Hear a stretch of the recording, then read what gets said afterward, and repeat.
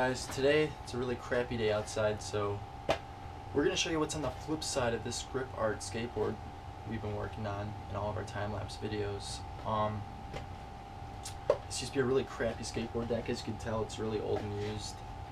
Um, the back graphic was completely scraped off.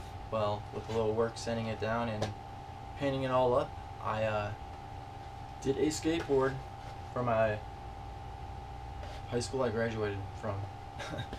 Wheeling High School. Basically, the skateboard was like trashed, and I had no other way of uh, really using it. I've actually asked the school if they wanted it, didn't get a response back or anything. I've emailed them and uh, even contacted them on their Facebook and Twitter, so no response back.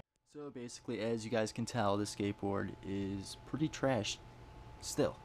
It's got cracks, a lot of cracks in there, and um, basically what I did here was sand the deck down, made it somewhat smooth again, although there is still a lot of rough marks in the skateboard deck. Definitely does not look fresh by all means if you really take a close look at it, but um, overall, for what it used to be, like I said, it was trashed. It looked like that. Pretty much all around the edges of this thing.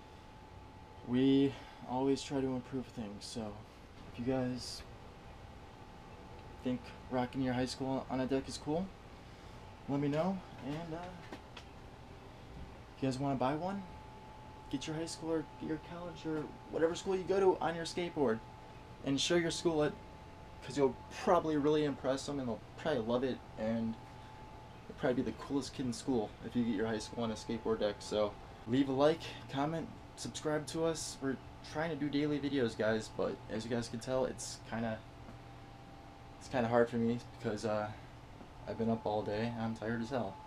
I'll do a tutorial very soon on how I do these skateboards, so if you guys are wondering how we do make them, I'll show you guys how.